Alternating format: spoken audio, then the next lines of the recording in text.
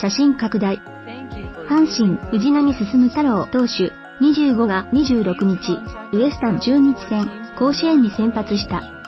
相手打線には、母校大阪桐蔭校の後輩、D イジー。公式戦でプロ初対決となる。